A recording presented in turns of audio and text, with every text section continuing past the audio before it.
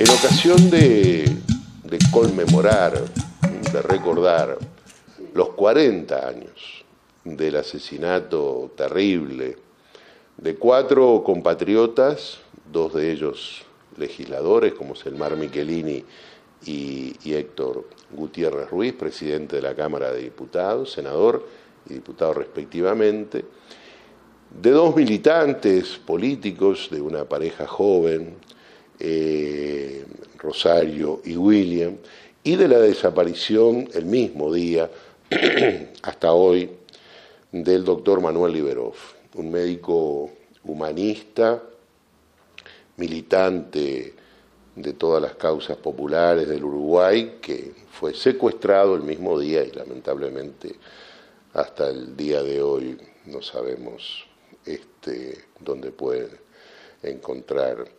Eh, entonces se realizó, se realizaron actos políticos de, eh, de homenaje a estos mártires. ¿no?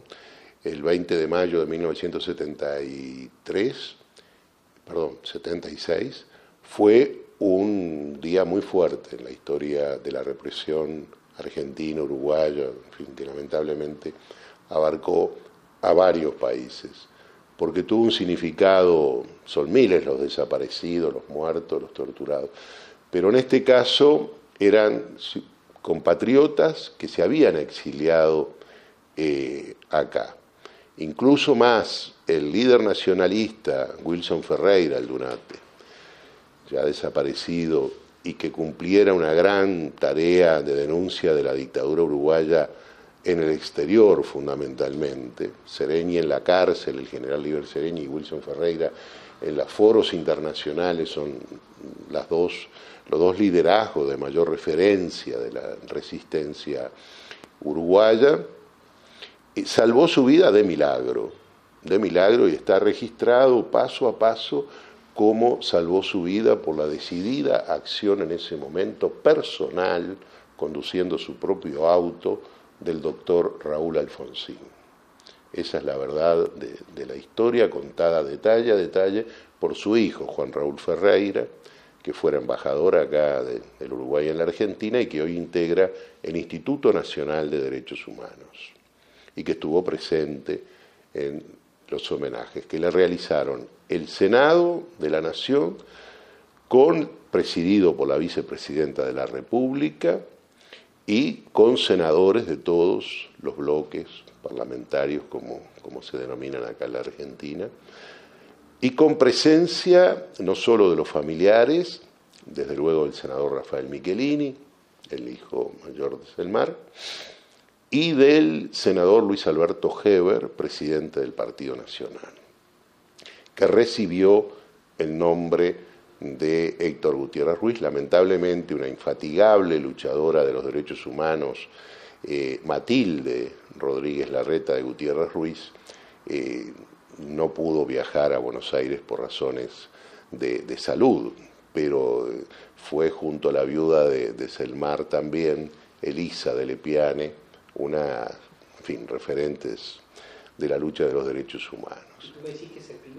Este fue un acto organizado conjuntamente por los sectores políticos, vamos a decir en grandes rasgos el, sector oficialista, eh, representado en este caso por la vicepresidenta de la Nación, la señora Michetti, y el sector de la oposición, representado por el senador Juan Manuel Aval Medina.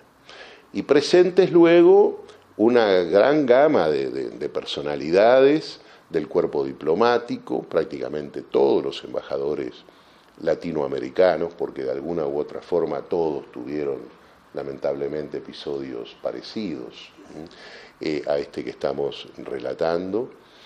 Eh, y luego gente como eh, Hipólito Solar Irigoyen, por ejemplo, o Pacho Donel, Margarita Stolbizer, Solá, eh, Alfonsín, Ricardo, este, Alfonsín, Pino Solanas, en fin, de todos los, sectores eh, políticos, intelectuales, etc. En el Senado de la Nación, primera actividad conjunta, oficial, formal, en el recinto del Senado, eh, organizada entonces acá en la República Argentina. De tarde, en la legislatura porteña, organizada por la Comisión de Derechos Humanos de la legislatura, se entregó también esa, esa plaqueta, esa es la que corresponde a don Manuel Liberov, al doctor Manuel Liberov, que recibimos el nombre de Benjamín Liberov, su hijo, y actual subsecretario del Ministerio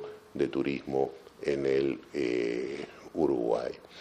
Así que fue un acontecimiento muy importante. En la Plaza República Oriental del Uruguay, donde está el monumento a José Artigas, hay un monolito que se colocó a los 25 años, durante el gobierno como jefe de gobierno de la ciudad del señor Aníbal Ibarra.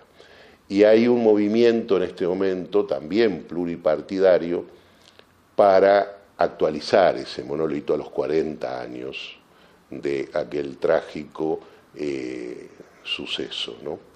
Eh, bueno, y fue, fue un día realmente muy triste, de tal manera que a partir de la recuperación democrática, todos los 20 de mayo, a las 7 de la tarde, se realiza la gran marcha del silencio, solo con banderas nacionales y los carteles de los desaparecidos en Uruguay.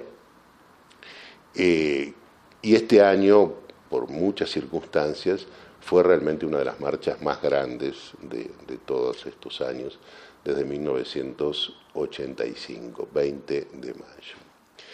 Y ahora se van a realizar actos de naturaleza cultural, eh, tanto un, acto artístico, digamos así, eh, y con unas breves palabras de, la, de Cecilia Michelini, representante de la Fundación, eh, Selmar Michelini, que, viene trabajando en Montevideo con toda la temática de derechos humanos.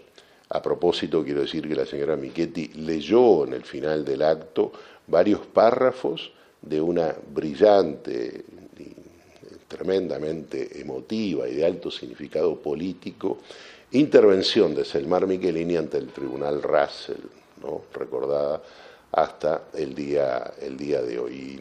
Y, la senadora, la vicepresidenta, leyó eh, varios párrafos de, aquella intervención de Selmar Michelini, que sería de sus últimos actos, ¿no? antes de, tener esta muerte eh, tan, tan atroz. ¿no? Y y el hijo recordó además en la legislatura porteña lo que la carta que Wilson Ferreira Aldunate le enviara al dictador Videla, diciendo que llegaría su día, porque llega el día de todos, también de los dictadores, y que él podría asilarse en el Uruguay. Y dice casi textualmente, comprenderá, señor general, no dice presidente, que no será recibido con afecto. Pero sí le puedo decir que vamos a, eh, a darle todas las garantías como corresponde a un Estado democrático, todas las garantías que su gobierno no brindó a los compatriotas que fueron lamentados. Es una carta que es un documento al día de hoy realmente formidable, ¿no?